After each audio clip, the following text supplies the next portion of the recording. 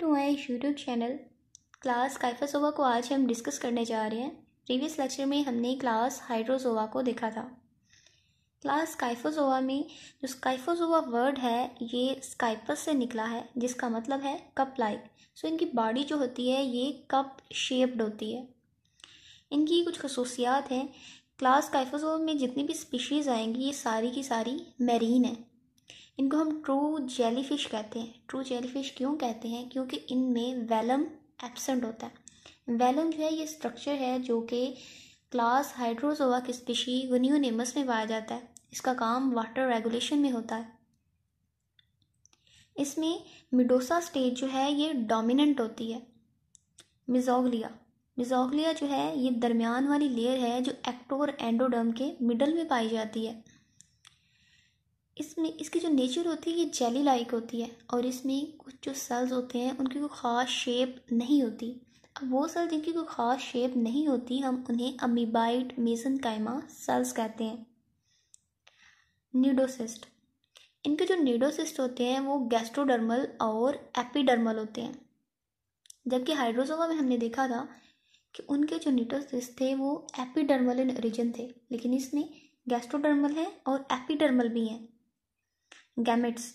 इसके जो गैमिट्स हैं, वो गैस्ट्रोडर्मल हैं, जबकि हाइड्रोजोआ के जो गैमिट्स थे, वो एपिडर्मल थे। इसके जो कुछ स्पीशीज़ हैं, ये हार्मलेस है टू ह्यूमन लेकिन कुछ कुछ स्पीशी है, ये डेंजरस है। उनमें से एक फ़र्स्ट स्पीशी है मेस्टिगियस क्विनकी कैरा जो मेस्टिगियस क्विनकी कैरा है, इसको हम स्टिंगिंग नेटल भी कहते हैं। इसको स्टिंगिंग नेटल क्यों कहते हैं? क्योंकि इसकी जो बॉडी होती है, वो हेलमेट शेप्ड होती है। हेलमेट जो हम पहनते हैं just like a helmet helmet shape होती है, जिसके नीचे बहुत सारे लंबे लंबे से टेंटिकल जो हैं, वो अटैच होते हैं, जुड़े हुए होते हैं। और साथ फ्लैशी लोब्स अटैच होते हैं इसके मार्जिन से। जैसे ये टेंटिकल्स हैं, जिसके मार्जिन से लटके हुए हैं, और साथ ये फ्लैशी लोब्स हैं। अब ये जो इसके टेंटिकल्स हैं लंबे लंबे से, ये नीडोसिस्ट कंटेनिंग होते हैं। एक जो टेंटिकल है, उसमें थाउजेंड्स ऑफ़ बहुत सारे नीडोसिस स्ट्रक्चर प्रेजेंट होते हैं। सो नीडोसिस जो है, हमें पता है इसके जो टिप पर टॉक्सिन प्रेजेंट होता है और वो जो टॉक्सिन होता है, वो क्या करता है इन्वेटिब्रेट्स को मार देता है।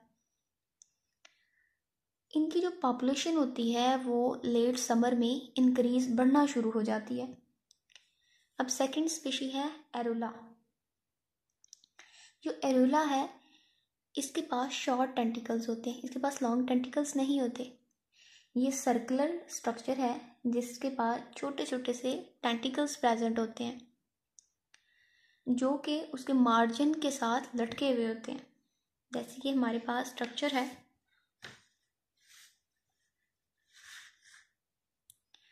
ये हमारे पास एरोला का स्ट्रक्चर है। तो इसके ये मार्जिन हैं, ये किनारे हैं, जिनके साथ टेंटिकल जो है, ये शॉर्ट टेंटिकल्स लटके हुए हैं, जुड़े हुए हैं।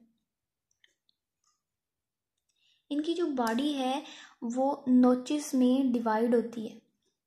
इनकी जो बॉडी है, वो डिवाइडेड होती है पार्ट्स में। इनकी बॉडी डिवाइड है पार्ट्स में। ये देखें, ये पार्ट्स हैं इसके जो डिवाइडेड है, जिनको हम नोचिस कह रहे हैं।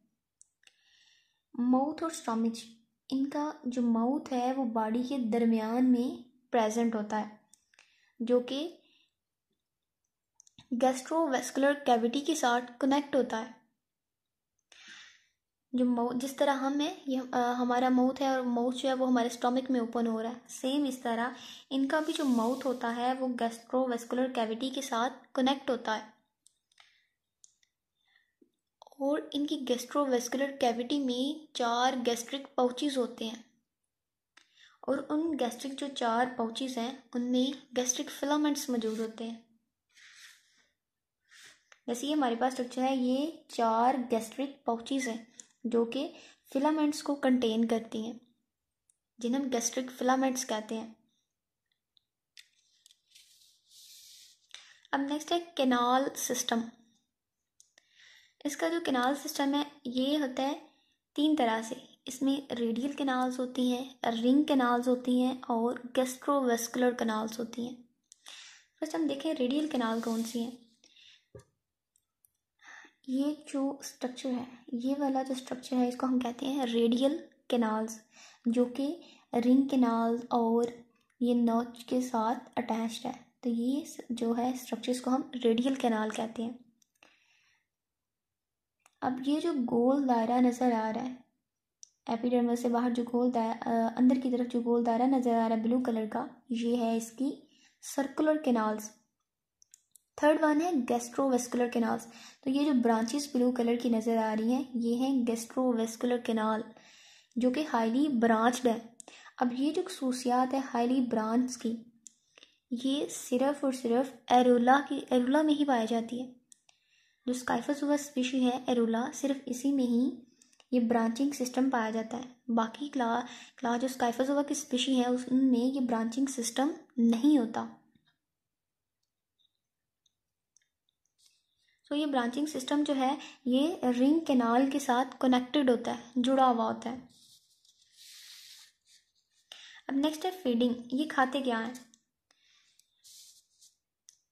तो ये प्लैंकटन्स को खाते हैं। प्लैंकटन्स स्मॉल ऑर्गेनिजम्स हैं माइक्रो ऑर्गेनिज्म जो पानी की सरफेस पर तैर रहे होते हैं, उनको प्लैंकटन्स कहते हैं। तो ये प्लैंकटन्स को खाते हैं। जब ये स्लोली मूव कर रही होती हैं तो ये माइक्रोस्कोपिक एनिमल्स को भी तब खाते हैं। अब ये इनको तो खाते हैं, ये फ़ूड को अपने अंदर कैसे लेके जाते हैं? तो सीलिया होते हैं, जो फ़ूड को पानी से पकड़ते हैं, जो कि मिडोसा के मार्जिन में प्रेजेंट है। जैसे ये स्ट्रक्चर है तो ये क्या करते हैं फ़ूड के फ़ूड को मार्जिन से पकड़ते हैं। जब ये फ़ूड को पकड़ेंगे, उसके बाद नेक्स्ट स्ट्रक्चर आ जाता है, ये ओरल लोब्स जिन्हें ओरल आर्म्स भी कहा जाता है। तो ये फ़ूड के पार्टिकल्स को इनसे लेते हैं, इनसे स्क्रैप करते हैं और माउथ के पास ले जाते हैं। फ़र्स्ट जो है माउथ को खुराक जो है फ़ूड जो है वाटर से ये सीलिया इसके जो हैं, वो लेंगे पिक करेंगे। उनसे ये जो ओरल लोब्स हैं, वो स्क्रैप करेंगे फ़ूड को और यहाँ से फ़ूड जो है वो माउथ के पास चली जाएगी। और गैस्ट्रोवेस्टिक कैविटी में वहाँ पर इसकी डाइजेशन होगी। ये होगी फीडिंग अब नेक्स्ट है सेंसेशन इसका सेंसरी जो स्ट्रक्चर है वो किस तरह से है? इसमें आठ रोपैलम होते हैं। हमने स्टार्टिंग पढ़ा था। कि आठ नोचिस हैं। इसकी बॉडी पार्ट्स में डिवाइड है, जिसने नोचिस कहा है। इसके पास एट नोचिस होती हैं और वो जो एट नोचिस हैं, वह उनको हम कहते हैं रोपैलम ये ये जो है एट इसके पास नोचिस हैं और नोचिस को रोपैलम कहते हैं। अगर हम रोपैलम के स्ट्रक्चर को बड़ा करके देखें तो ये कुछ इस तरह से है। ये स्टेटोसिस्ट है। स्टेटोसिस्ट का काम होता है बॉडी को बैलेंस करना।